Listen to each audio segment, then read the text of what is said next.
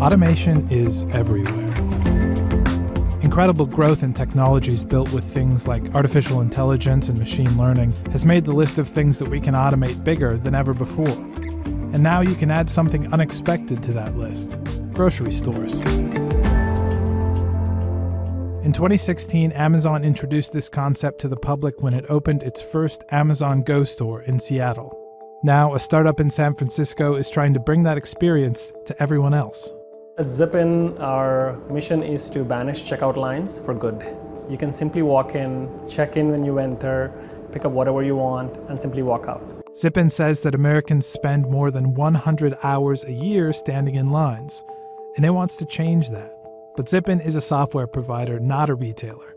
The goal is to license its platform to other retailers like grocery stores or convenience stores. If there was somebody, a human, that actually were able to follow a customer around the store and, and see what they were picking and just took a note of that uh, information, and then when they walked out, simply just gave them a bill, it would be very convenient for the customer. But since having a personal shopping assistant isn't feasible for most of us, Zippin has developed a way to do the same sort of thing with cameras, sensors, and AI. We use uh, overhead cameras that look straight down and get a bird's eye view of the entire store.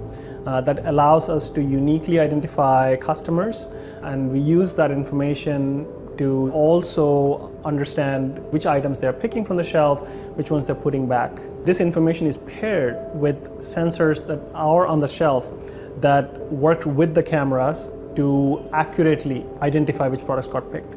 Zippin has to track your every move for this to work, which brings up some obvious privacy concerns. Retailers will know things like how long you stood there staring at the shelf, or which things you picked up but didn't ultimately buy.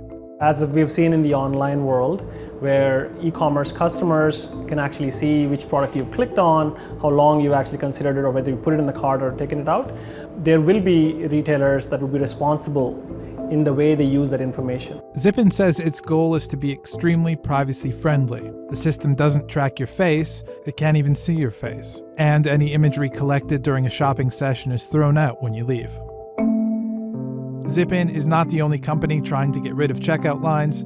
Across San Francisco is another startup, Standard Cognition, which is developing a very similar technology. Their version doesn't use shelf sensors, only cameras and it's been reported that Amazon is considering opening 3,000 of its cashierless stores by 2021. I would say five to 10 years, you should expect every store uh, will be checkout free. Zippin will charge stores a monthly fee to use its software, and it estimates that it will cost stores around $25 a square foot to install hardware that its system supports. But it predicts stores will make that money back in about 6 to 12 months. In addition to um, supermarkets and grocery stores, we're also getting a lot of interest from hotels, airports, stadiums, and commercial buildings, right?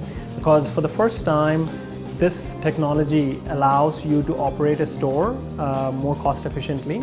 And so we expect more of these smaller stores to appear, pop up in residential complexes and office buildings where there was nothing other than just vending machine and salty snacks before. Our next step is to actually take the technology to an existing retailer and implement it in their stores.